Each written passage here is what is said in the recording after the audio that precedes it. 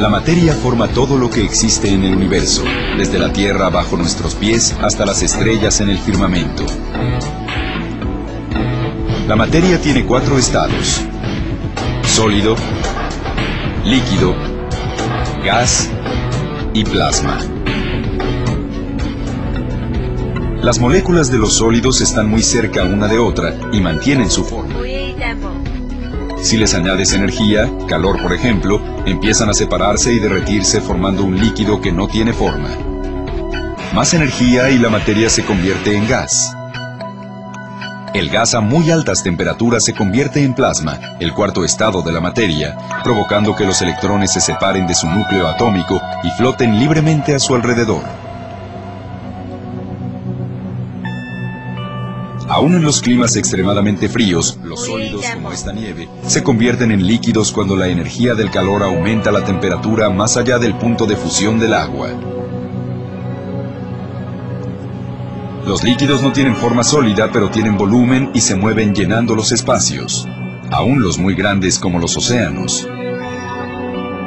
Aunque es obvio que el hielo se derrite, las rocas también se derriten si hay suficiente energía. La roca derretida por el calor y la presión en lo profundo de la Tierra brota como magma y lava líquida durante una erupción volcánica.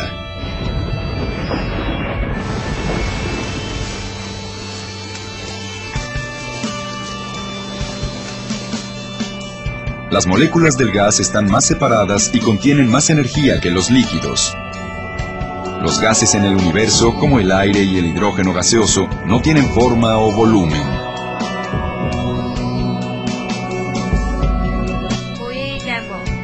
El plasma en el universo es gas a muy altas temperaturas.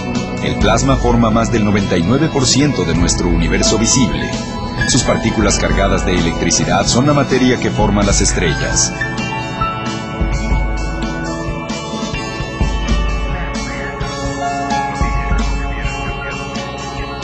El físico Albert Einstein propuso la ecuación E igual a mc al cuadrado para explicar la relación entre la energía y la masa.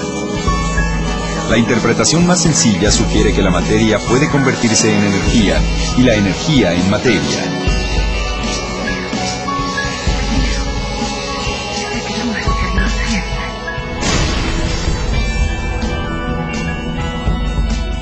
La teoría ayuda a explicar el curioso nacimiento de nuestro universo, cuando una enorme cantidad de energía se convirtió en materia.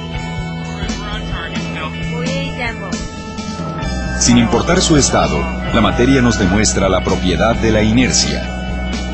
Esta ley natural nos indica que la materia no cambia a menos que una fuerza externa lo provoque.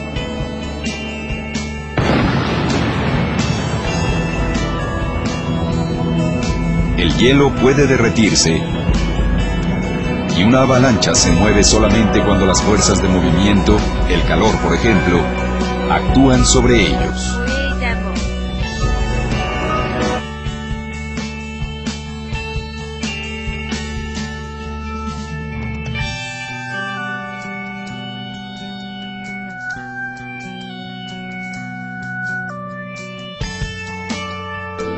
Cuando los componentes de dos o más sustancias, cualquiera que sea su estado de agregación, se mezclan y pueden diferenciarse a simple vista, se dice que dicha mezcla es una solución física heterogénea.